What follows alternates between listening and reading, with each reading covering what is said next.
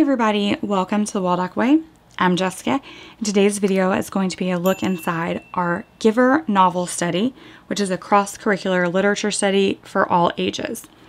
That being said, there is a disclaimer that if you know nothing about this book, there are some mature topics that are in it, so you may want to look into it a little bit deeper. You know your child best. In this unit study, you will find a lesson plan for six weeks, and it tells you what to do for each of those five days, as well as what chapters to read. Cross curricular connections for math, writing, social studies, science, art, and music. These are all different ideas that really bring the book to life with different things my favorite quotes from The Giver. So as you read The Giver, you'll jot down quotes that you find interesting. And then for the first five weeks, there is some form of copy work, vocabulary skills, creative writing projects, comprehension for the chapters that you've read that week, as well as a summary of the chapters that you read that week.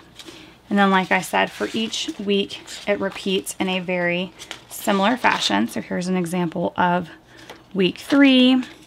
This week for the vocabulary, they'll actually be looking up the definitions for the words.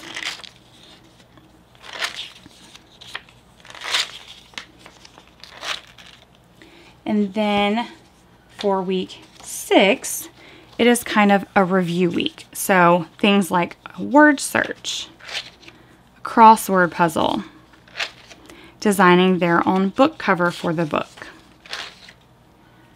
drawing a picture and describing the setting of the giver, identifying the theme and finding examples from the book to support it, plotting the story and learning more about how the story works as far as rising action and climax and falling action, choosing a character and doing an in-depth character analysis, persuading somebody to either read or not read this book based on your recommendation, watching the movie and then doing a book and movie comparison of the two.